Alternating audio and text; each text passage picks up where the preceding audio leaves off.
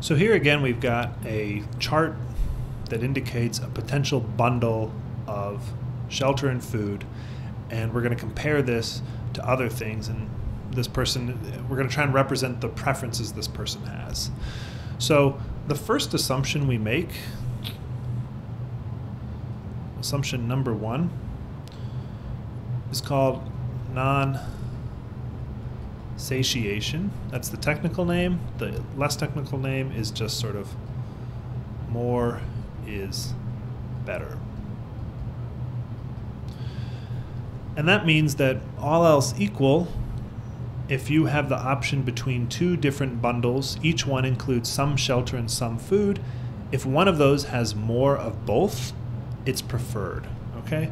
So if we imagine taking this uh, allocation as our starting point, we can divide the space up as such. And anything over here is less food. And anything on this side of the line is more food. Similarly, we can divide it in this way. Anything above that line is more shelter. And we've also got more food on this side. Anything, uh, and this is still more shelter over here. And anything below this line is less shelter.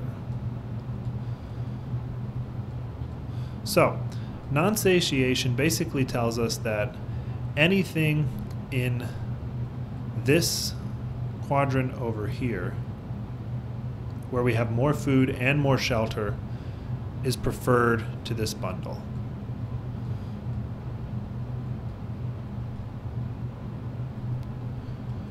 So I'm going to call this bundle bundle A now so that we have a name for it. So anything over here is preferred to A because anything in this box here has more food and more shelter. Anything down here in this lower corner, A is preferred to because all of those bundles, everything down there has less food and uh, less shelter. What about these guys over here?